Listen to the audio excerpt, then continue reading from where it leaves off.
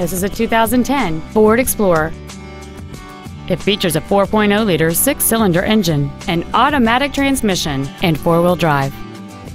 Its top features include heated front seats, cruise control, an auto-dimming rearview mirror, a four-speaker stereo system, leather seats, a double wishbone independent front suspension, 17-inch wheels, a low tire pressure indicator, a keyless entry system, and an anti-theft protection system. Please call today to reserve this vehicle for a test drive. Seekins Ford Lincoln is dedicated to doing everything possible to ensure that the experience you have selecting your next vehicle is as pleasant as possible. We are located at 1625 Seekins Ford Drive in Fairbanks.